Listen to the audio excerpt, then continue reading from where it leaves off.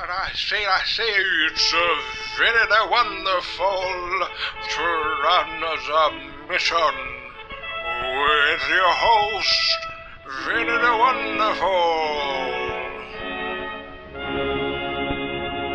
Another great episode coming. I mean, I say great.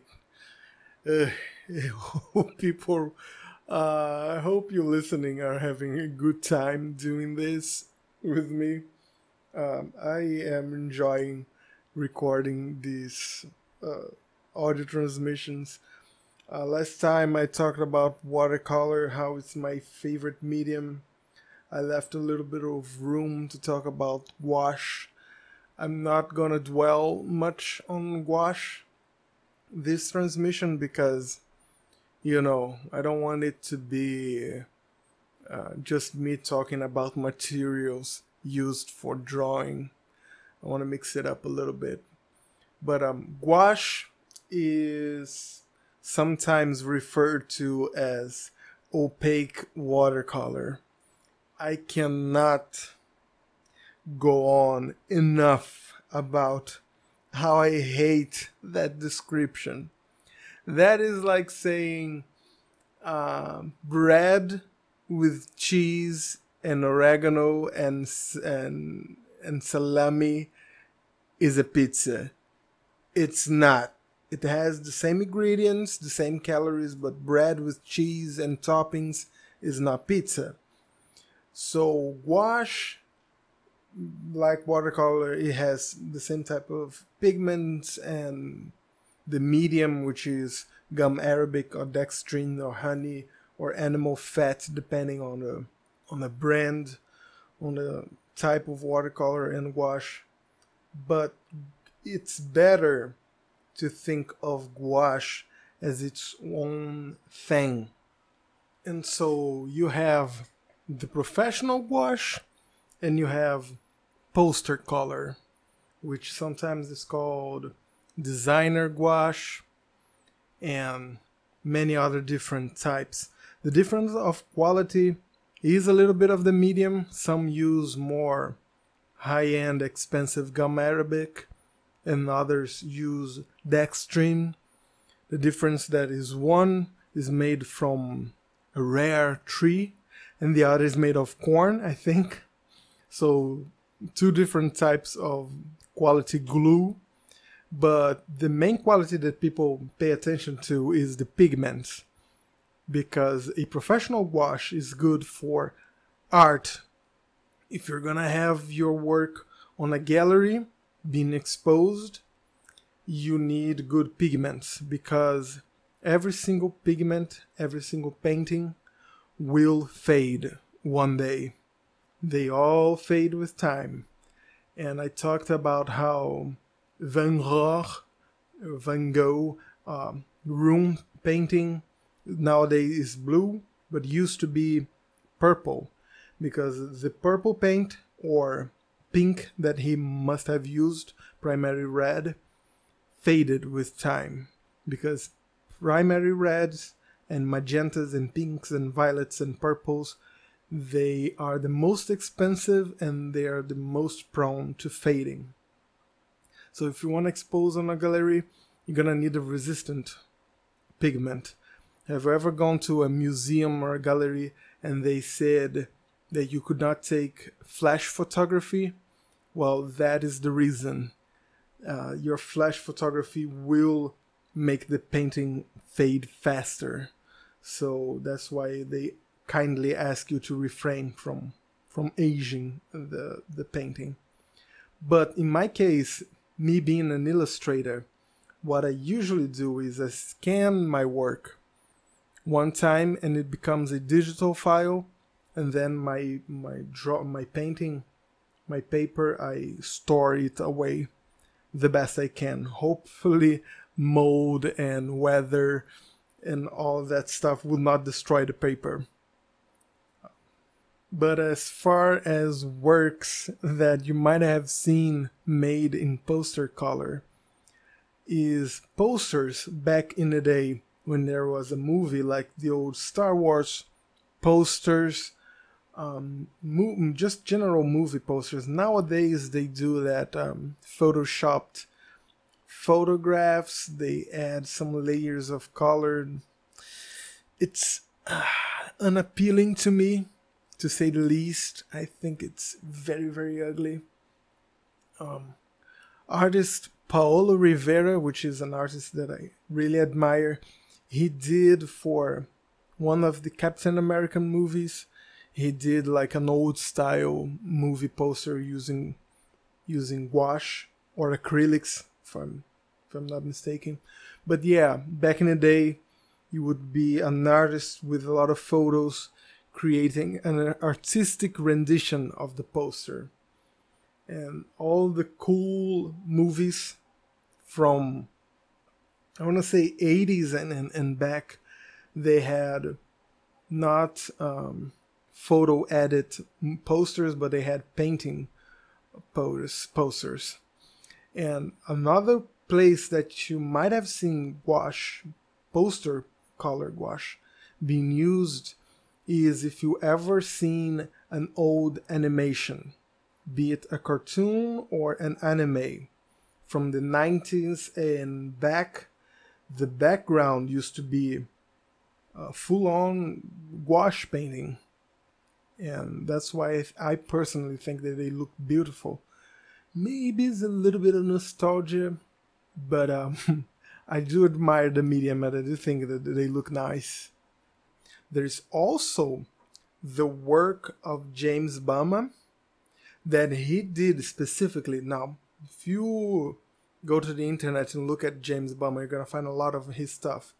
But specifically, he did the cover box of old 60s um, build kits for Universal Monsters and, and other monsters. So if you were a kid in the 60s, which is way before my time, but people would buy like those plastic models to, to, to paint of Dracula, King Kong, Godzilla, uh, witches, whatever, those Halloween stuff.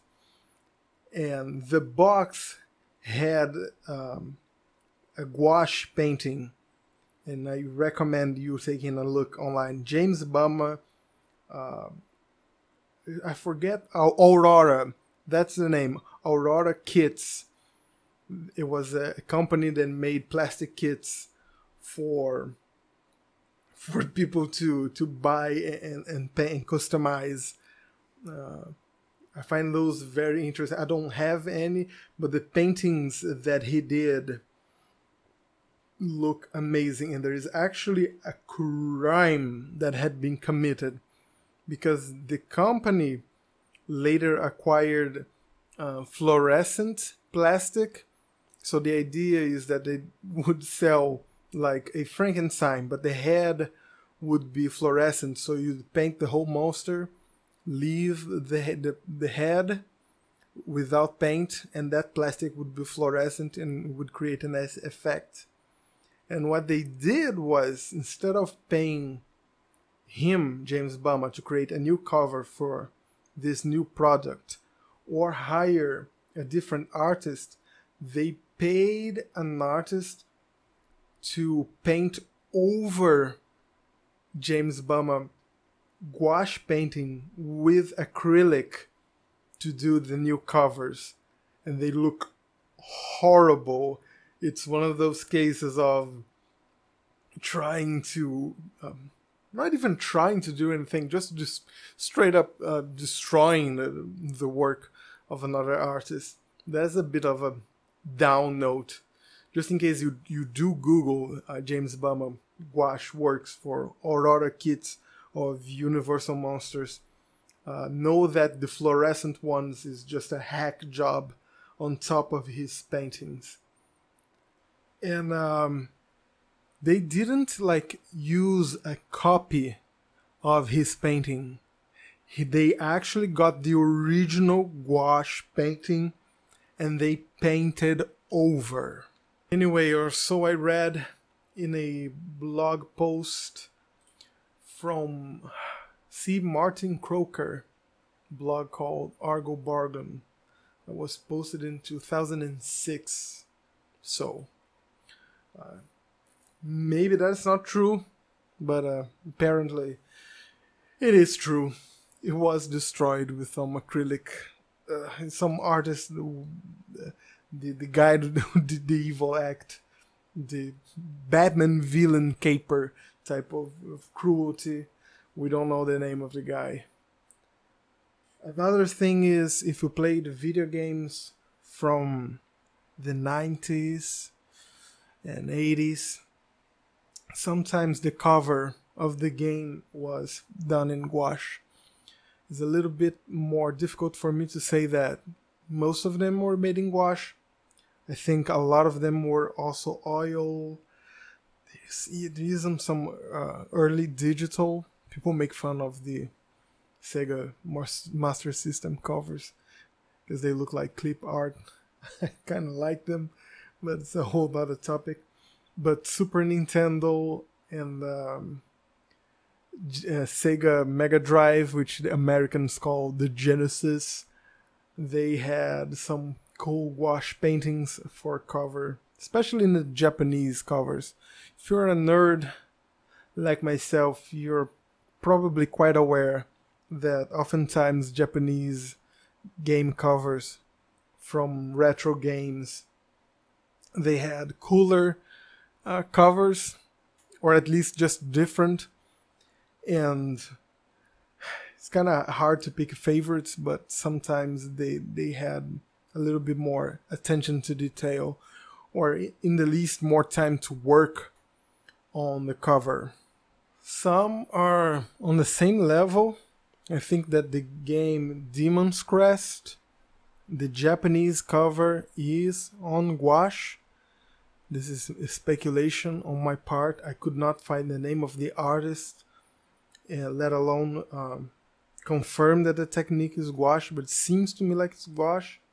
And the Western version, which also looks brilliant, is by the artist Julie Bell, which herself deserves a episode of her own. And her paintings are in oil. Anyway, uh, there are several examples of cool gouache work. And it's a medium that is um, kind of neglected, I think. Like a lot of books, uh, the book that I mentioned in the last episode does not really go into detail on gouache. Gouache is kind of seen as an illustrator medium not as a, not as a artist medium. And yes, there is a difference between illustration and art, and illustrators are oftentimes not considered um, artists in the more academic and pedantic circles of of the field. But I love it anyways. It was the stuff that I like doing most. Of course, I love art but illustration is illustration kind of carries a certain legacy that fine art has forsaken.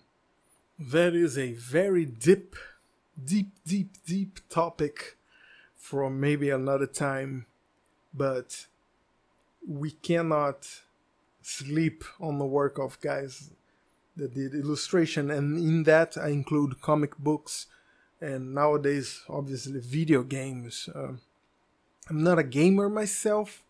I do like retro video games, but the but a lot of cool art and illustration is still living in the work of video games. So that is it for this transmission. I do apologize. I said I wouldn't dwell much on gouache, and the whole transmission was all about gouache. So I do apologize about that. I did not mean to trick you.